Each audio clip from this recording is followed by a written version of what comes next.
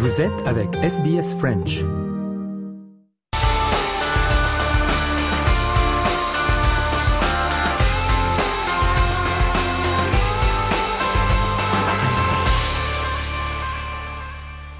Le journal des sports de ce mardi avec tout d'abord les JO de Paris et hier Noémie Fox a remporté la finale du kayak cross féminin.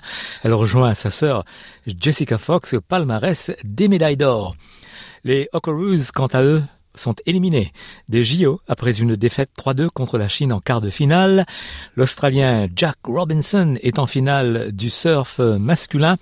Et puis le Japon a battu l'équipe australienne de water polo 14 à 13. Deux médailles euh, viennent au milieu de la nuit, c'est à Tahiti. L'or en surf pour le français Carly Vast et le bronze pour Johan euh, Dufay. Dimanche, l'Australie a ajouté deux médailles d'argent supplémentaires en natation pour conclure la troisième meilleure campagne du pays.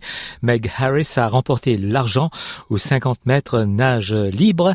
Il en va de même pour l'équipe féminine du relais 4 x 100 mètres, 4 nages composées de Kaylee McEwen, Emma McEwen, Molly O'Callaghan et Jenna Strouch. L'équipe australienne de natation a remporté 7 médailles d'or, 8 d'argent et 3 de bronze à Paris.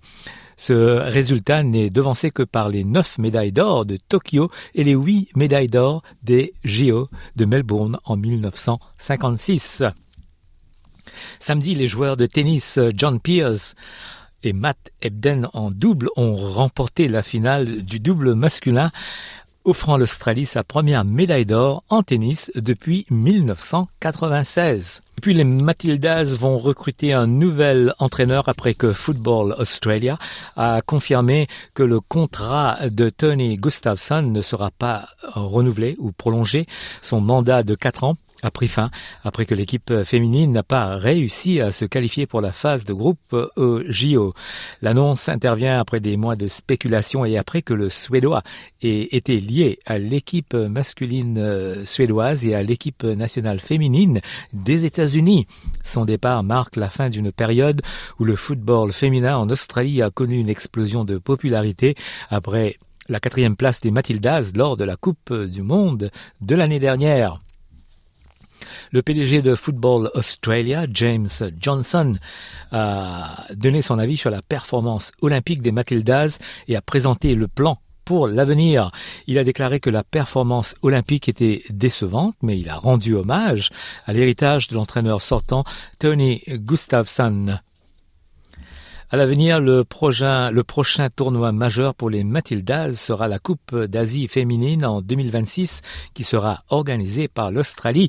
James Johnson souligne que ce sera une priorité pour le nouvel entraîneur de pouvoir former une équipe capable de remporter ce tournoi. Et voilà pour le journal des sports de ce mardi.